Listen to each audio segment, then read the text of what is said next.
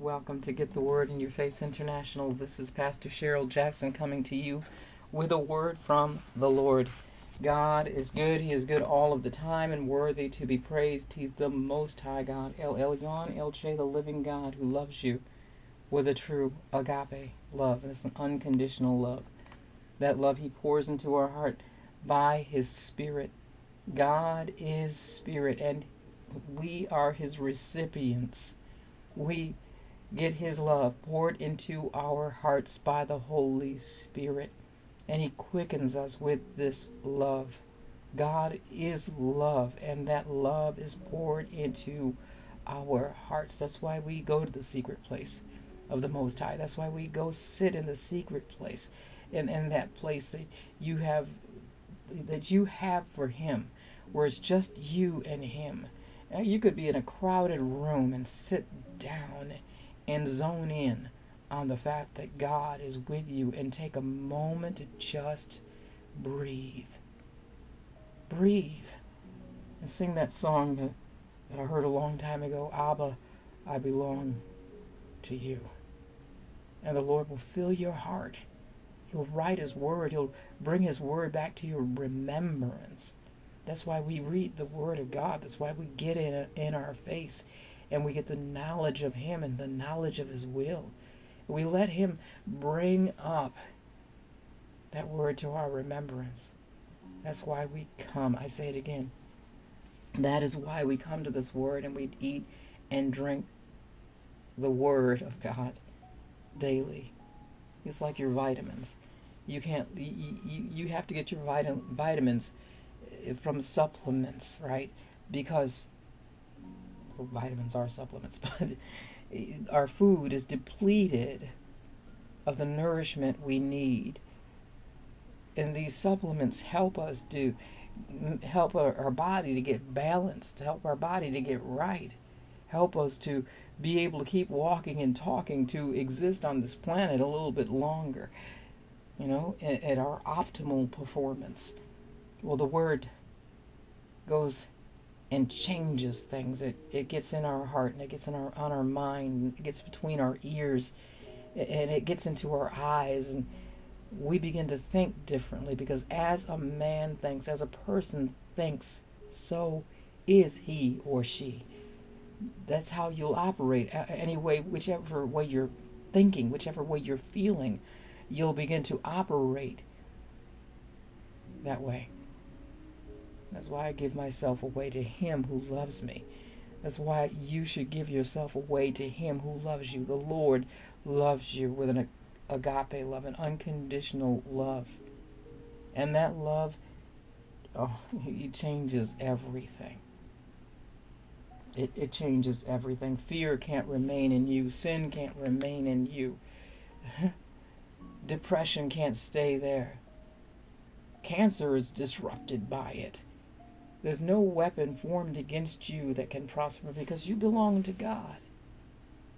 Diabetes can't stay there. God didn't give you sickness, He didn't give you illness, He didn't give you any kind of disease. It's not yours, it doesn't belong to you. You said yes to God, and therefore you belong to Him. We receive things from the devil we take them in a dream and we take them by way of TV because we keep listening to the same thing over and over and over again. And whatever word you hear goes into the cells of your of your body of your mind. And it's working a work in the background. You know it. If you pay attention to yourself you know that you hear words and those words keep on speaking even when the TV's off even when the cell phone's off whatever you've been meditating on, whatever you allowed to pass before your eyes, even if it was accidentally came before your face, nothing by way, nothing is actually an accident. But however that word got into your face, into your ears, that word is working in you, and we need to know our God so that we can shut down the works of the evil one no weapon formed against you will prosper. And those the weapons we're talking about are, are words. Words that steal, kill, and destroy. Jesus came and he gave us life and life more abundantly. And it's all in the knowledge of God. It's in the knowledge of who he is. We got to learn how to change our mind and get our mind on things above. Looking for good things and asking the Holy Spirit, Lord, lead me in a plain path. You know the enemy today. You know the enemy today, my Lord. Help me, Holy Spirit, to walk on the path that you have laid out for me today. You know, I remember Jesus again being led into the wilderness. He was led by the Holy Spirit into the wilderness to be tempted of the devil. Well, the Lord knows what's in our pathway today. And the Holy Spirit's been given to us. He's our keeper, He's our helper, our Paracletos. He's there, a, a friend like no other who is in you, to you, and through you. He's for you we have to see we have to have a desire for our salvation a desire to walk by faith and, and, and not be walking by how we see things how we feel about things we're coming out of a mindset that we used to have when we did it all by ourselves. We did everything by our own imagination, by our own strength. But see, our mind is limited. Limited in the things that, the good things that God has for you. It, what the Bible says, eyes not seen, nor ear heard, nor the mind known, all the good things that the Lord, our Father, has in mind for us. Jesus, He laid His arms open wide so that we could come into the Father. Now, the Father only has thoughts of peace and not of evil for us. He, he wants us to be what He called us to be. And in Him, we have everything that we need. We are uncorruptible. If we would plant the incorruptible word in our heart, if we would come and sit down and know Him, we'll understand how much corruption cannot live in your heart anymore and be written on your mind anymore. We uproot all the works of the devil. You know, I'm always saying the same thing. Know God. Come sit down and drink and eat from Him. We're not born from this world anymore. We're not born by the news that comes across the TV telling everybody to be fearful and afraid. Look at what happened over here and look at what happened to this person. Look at what evil is doing in the world. See, we pinpoint people and get the persons on our mind. We get the that that race on our mind.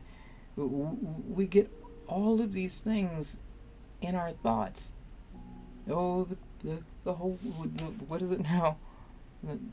It's not new, but recession. I think that's what they call it, or whatever poverty is about to hit the whole world. Greater is he that is in you than he that is in the world. The kingdom of God doesn't suffer poverty. The kingdom of God is rich, rich in mercy, rich in God's goodness the blessings of the Lord will overtake you if you hear by if you hear by the Holy Spirit and do what He says. Whatever the Lord tells you to do, you, that's what you do. You will prosper. Those who are planted by what does it say? Let's go to Psalm 1 real quick. Psalm 1.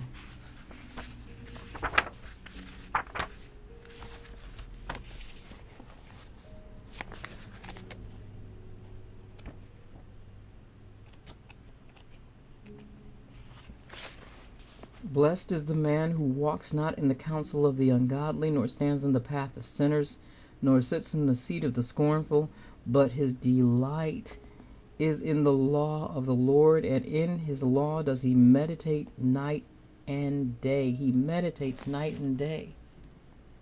For he or she, right, shall be like a tree planted by the rivers of water that brings forth fruit in her season, whose leaf whose leaf also shall not wither, and whatever she does, or he, will prosper. See, God is with you. He knows the way of the righteous. He knows your way. But it's all in Him. We are fruitful and we multiply. I'm trying to think of some other ones right now. The Lord makes his grace abound towards you. The Lord it He's not going to let you lack anything. Jesus in John chapter 14 it is keeps on telling us to ask. Ask and whatever you ask in my name it will be given to you. But here we go again. Know him. Trust him. Rest in him. Believe him. God chose you before the foundation of the world to be his. And he's going to work everything together for your good. Not because our minds are stayed on whatever we want, but our minds are stayed on who He is. We're in love with Him. Oh, how I beg us to keep ourselves in love with God. Keep ourselves in love with Jesus. Get your eyes off of this world. Get your mind on things above. You read Philippians chapter 4, starting in verse 8 for that. Oh, stop. oh, how I pray. Stop feeling so grief, so grieved with your life and with the life around you and everything that you've heard and everything that you've seen. Stop being grieved about your age. Don't lean on your own understanding. In all of your ways, acknowledge the Lord. He will direct your path. This is a promise of God that He will take care of you. He will take care of His children. It's not, you know, I thought of it this morning that I've thought of it before, but I thought about it. There's, there's no purpose for me to be in this earth except to live for Him and to show that this is Him working in us. We, could have said yes to the Lord and He could have just took us straight up to heaven. He could have said, now, time for you to go to sleep until it's till the uh, end of the age. But He didn't do that. He wants us to be the example of, of, a, of a great salvation, the salvation of that He is. He wants us to be the great example of salvation, of His goodness, of His mercy towards what He has created. He loves us so much. He wants to pour this agape love into your heart so that you fear nothing, so that you're bold and courageous. he wants you to have His mind. He wants you to have His will. He wants you to be, be love, just like He is. But it's going to take taking our eyes off of some things, not leaning on our own understanding about anything, but in all of our ways acknowledging Him.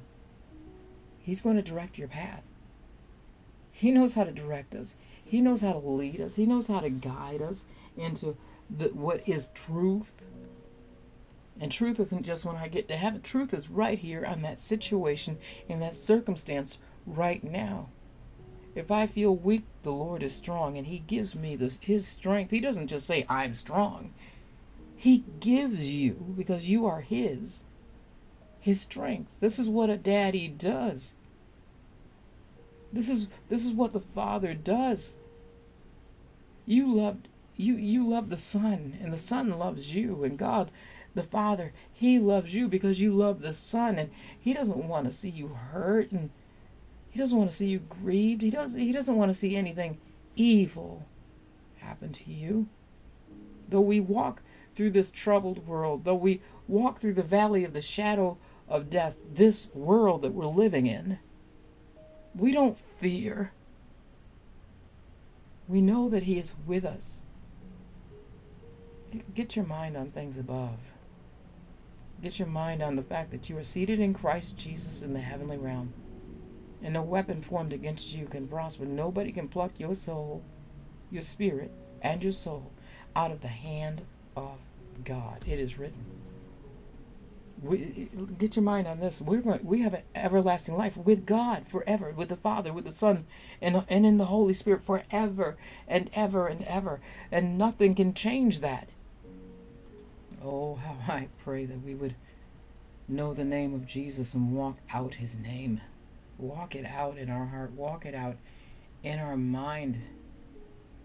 We just stop leaning on what everything looks like, what everything sounds like. You know, God gave us a spirit, the spirit of wisdom, the spirit of wisdom and revelation and the knowledge of Him. He gave us His spirit in our hearts. That love that God is pouring out into us by His Spirit is revealing the truth. The truth of salvation in that situation, in that circumstance, your freedom, your liberty. He's not giving you a yoke of bondage. Not the old. The old yoke was us leaning on our own understanding. The old yoke was us in the flesh, being led by the devil. It's easy to be led by the devil. You just get your eyes out there in the news. Get your eyes on you, Yahoo and, uh, and and Facebook and all the social media sites, Snapchat, whatever else there is out there.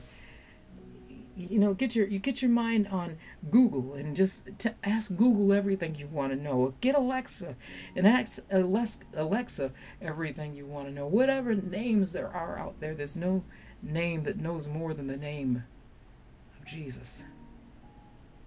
He's in the Father, and the Father's in Him, and we, in John chapter 17, are supposed to be in the Son. And if we're in the Son, we're in the Father. We've become one with God. Therefore, He pours out His wisdom to us so that we can get out of the temptation, that evil temptation that is, that is trying to find something in you to make you cave into it. James chapter 1. Read the whole thing. The Lord wants to take you out of that place of deception. But it comes from renewing your mind, from knowing that the wisdom of God is right there for you. It's the beginning. The fear of the Lord is the beginning of wisdom. See, He's everything. He's everything. He is all, and I don't mean everything like the wall, the tree. No, I don't mean any of that. That He's our all and all. Everything consists because of who He is, not because of who we are. That's pride in us. The greater is He that is in us than He that is in the world, showing us the truth. Getting your mind on things above